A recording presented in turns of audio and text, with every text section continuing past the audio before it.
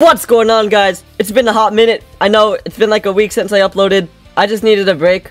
But we're back! And what did I come back to? Well, Tower Defense Simulator is releasing their military base rework. And Tower Defense X is also releasing their armored factory tower. it's kinda it's kinda funny how they're both doing this at the same time. But anyways, there's all the leaks of it. And I mean, this is a short video, but hey, I'm getting back. I'm, I'm getting back into this ring, so it's just pretty short. But Tower Defense Simulator and Tower Defense X, they're both releasing like the military-based armored factory-based thing towers, which is really interesting.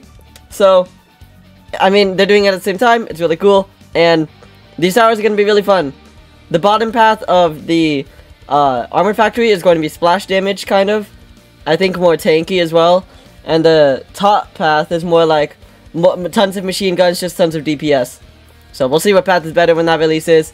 And the military base also looks pretty cool, has way smoother animations. And the wheels are like actually moving. I'm not sure if the current ones move. So, yeah, we're back. And those are the new Armored Factories releasing soon. Peace out guys, have a good day.